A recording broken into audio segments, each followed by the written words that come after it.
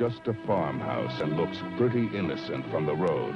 But once you're inside, you'll see what really happens on a terror farm. Invasion of the Blood Farmers.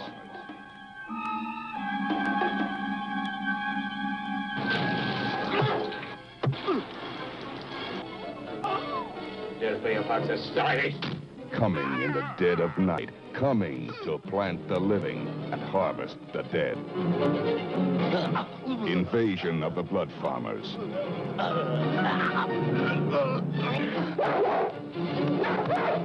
Within a week, the lab will be flooded with... With human blood.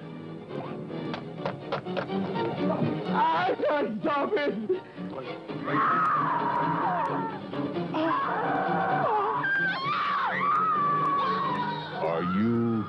Strong enough?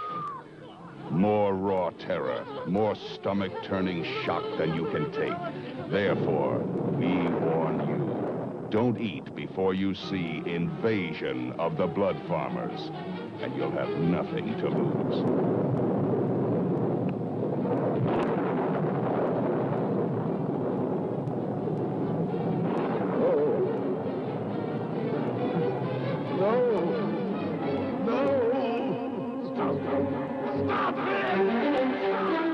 They plant the living and harvest the dead. Invasion of the Blood Farmers, released by NMD Films, in color, rated PG, parental guidance suggested.